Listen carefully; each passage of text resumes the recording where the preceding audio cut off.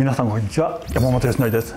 今回はですね視聴者の皆様から結構リクエストが多かったんですけれどもこれまで筋トレ大学腹筋を割る方法について何度か紹介してきたんですけれども腹筋を割るという方法の一つとして EMS それは効果があるのか解説してほしいというようなリクエストがありましてそれについて今回は詳しく紹介していきたいと思います。まず EMS の E っていうのは、まあ、電気ですよね。M はマッスルで S はスティミュレート刺激する。電気刺激ということなんですけれどももともとどのようにして EMS 使われたかといいますとこれは医療用品としてなんです。例えば怪我をして運動できない。そのような時にどうすれば筋肉が減るのを防げるか。ということで関節を動かせない状態でも筋肉を動かしていく。リハビリとして EMS が開発されたと。いうような経緯があります。何もしない状態だと筋肉減っていってしまいます。例えば2週間ずっと寝たまま安静の状態なんかだともう筋肉半分ぐらいに減っちゃう。そのような時に電気刺激を与えていくと筋肉が落ちるのも防げると。例えばアスリートの人なんか肉離れとか関節の怪我をした。そのような時に筋肉が落ちてしまうのを防ぐという点では非常に効果があるということは一つ言えます。ただ皆様ですね EMS というものについては他のリハビリに効果があるというよりは簡単に筋肉がつくんじゃないか EMS だけでもいいんじゃないかというような考え方もあると思うんですけれども実は EMS 大きな弱点があります。何かと言いますと収縮させるだけ。筋肉というのはポジティブとネガティブがあります。筋肉が縮む時をコンセントリックあるいはポジティブ。伸びる時のことをエキセントリックあるいはネガティブというんですけれども伸びながら筋肉が力を発揮する。そのような状態が筋肉を強くするのにとても大事だということが分かってるんです。でも電気刺激だと筋肉を収縮させるだけなんですね。ネガティブでの刺激がないということがあります。ただし普通のトレーニングと EMS を組み合わせる。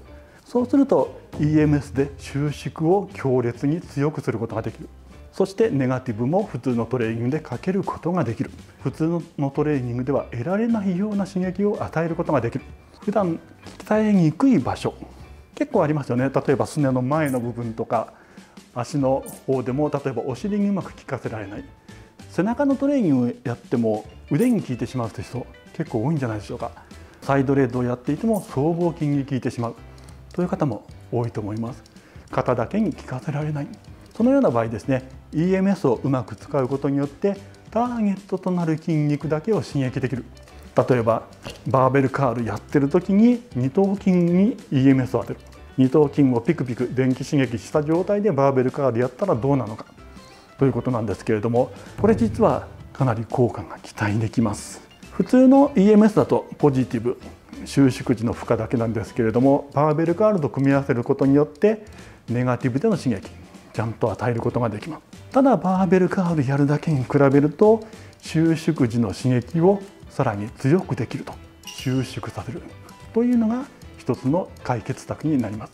バーベルカールって上げ始めってあんまり負荷がかからないですよね。最後もあんまり負荷がかからないです。肘が90度ぐらいになった時にバーベルカール一番筋肉が収縮します。でも EMS だと関節の角度関係なしに常に筋肉を収縮できる。例えばスクワットなんかですと立ち上がった時膝の筋肉が一番収縮している時ですね。立ち上がった時には全然スクワット負荷かかってないです。でも EMS だと膝を伸ばしきった状態でも筋肉を収縮させることができる。これは非常にメリットが高いわけです。普通のウエイトトレーニングでは与えられないような刺激。普通のトレーニングでは与えられない関節角度での刺激を EMS だと与えることができるというわけです。普通のウェイトトレーニングと EMS うまく組み合わせればトレーニングの効果を高めることは十分に考えられると思います。先ほどお話したリハビリの効果それはもちろんあります。そしてもう一つ血流を良くする。血液の流れが良くなってくると脂肪分解ホルモンもそこに働きやすいということがあります。ダイエット中に EMS を行う。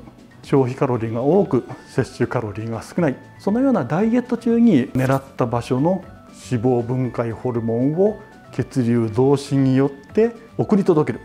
ダイエットとうまく組み合わせることで脂肪を分解することはできるかもしれない。ただ普通のウェイトトレーニングでもできることなんですよね。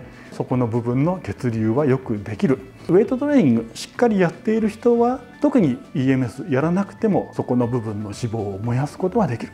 ただトレーニングをちゃんとできない人ジムにあんまり通えないという人忙しくて腹筋10分すらもできない。そういう人がですね EMS をダイエットと組み合わせて行うというのは一つの方法ではあります。そしてもう一つですね血液の流れを良くするということはそこに溜まった疲労物質洗い流すのにも役立ってくると。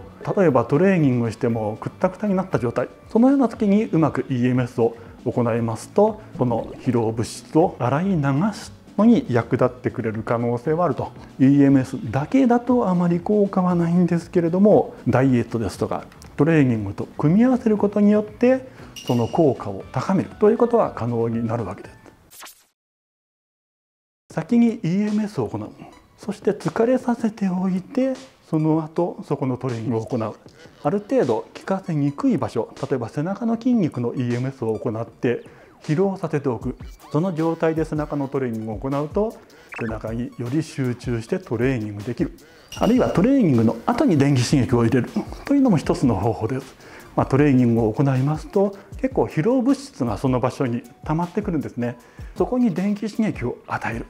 そうすると血流が良くなって疲労物質を流し出すのにも役立ってくれる。